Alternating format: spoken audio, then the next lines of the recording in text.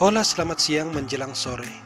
Kita kembali akan melihat kemenangan singkat Wesley So atas Maxim Vasilegraf yang terjadi hanya dalam 15 langkah. Game dibuka oleh Wesley dengan D4 dibalas dengan langkah yang tidak biasa kuda C6 Nimsovich defense. Wesley mendorong E4 E5 dan pion ditukar kuda makan. Lalu Wesley menyerang kuda. Menteri F6 kuda C3 mengizinkan pertukaran kuda skak menteri makan dan Maxim menukar menteri.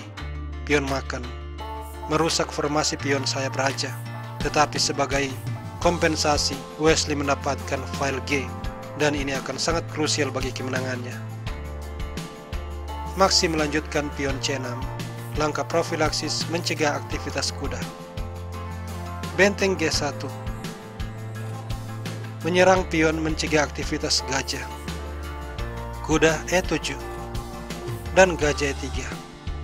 Di langkah ke-9 Maxi mendorong D5, membuka jalan bagi gajah terang. Wesley menukar pion, dan Maxim tidak mengambil pion tetapi kuda F5, menekan gajah. Wesley rokade menguasai file D dan berharap kuda akan makan gajah karena pion makan dan formasi pionnya menjadi sehat kembali. Maxim tidak melakukan hal ini. Dia mencoba gajah E7.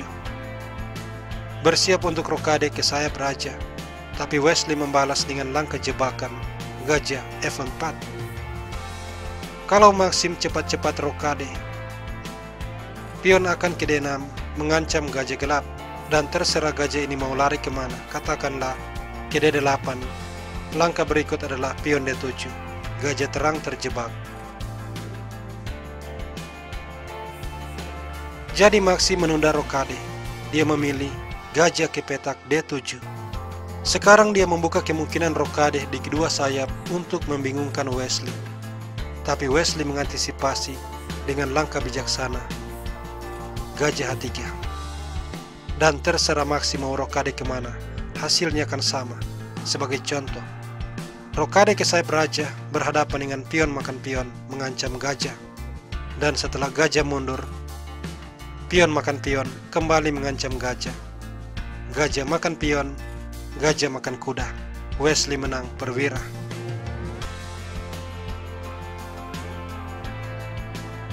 Maxim di langkah ke-13 memutuskan rokade ke sayap menteri. Mungkin ini merupakan langkah terbaik, tapi tidak. Karena adanya pion makan pion seperti sebelumnya. Setelah pion makan, jika Anda perhatikan, gajah Wesley menyerang kuda dan kuda dipertahankan oleh gajah. Maka sesuai teori, kita harus melepaskan taktik removing the guard yang kemudian dilakukan Wesley. Benteng makan gajah. Menghilangkan pelindung kuda. Maxim langsung menyerah karena sesudah benteng makan benteng, gajah makan kuda, dan Wesley menang perwira.